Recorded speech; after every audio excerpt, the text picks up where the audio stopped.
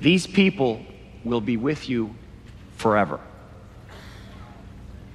Will be with me forever. Well, by forever, right, what John means is for as long as he needs a family. You know, or you, or whoever, really. Excuse me, Dr. Lightman. How you doing, John? You all right, mate? Nice pants. Ladies and gentlemen, I'd like to introduce you to John's wife, Sandy, and his lovely daughter, Liz. On your feet, girls. Who've been kind enough to join us from Toronto, where they've been living since he abandoned them 14 years ago.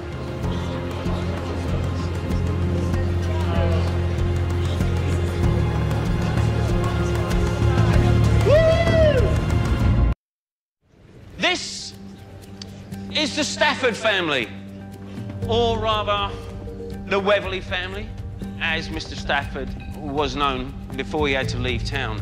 Lovely family. John? Very handsome. Let's uh, let's take a break.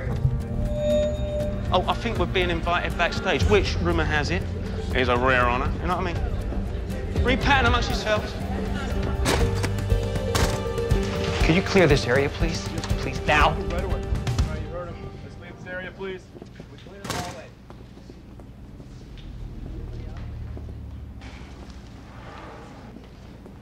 Well, go on then. Say something. You talk for a living, don't you?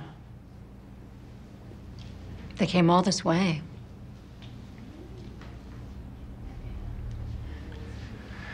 Sandy. Liz. I'm really sorry. I was wrong to leave, but I'm a different person now. Wrong to leave? Just wrong? So everything's good now? And young and stupid.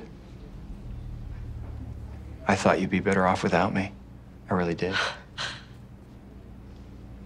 No, he, he believes that.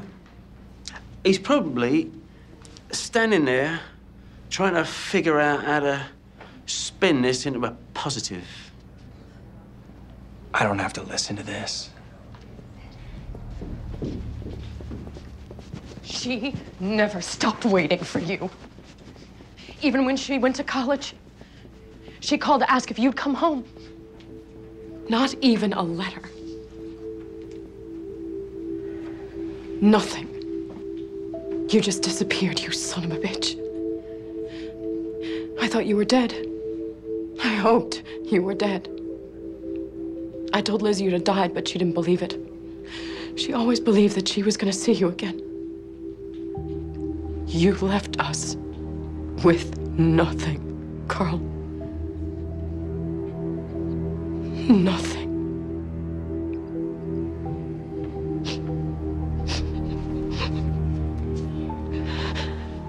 You're seeing this for the first time. But I've been living with it for 14 years.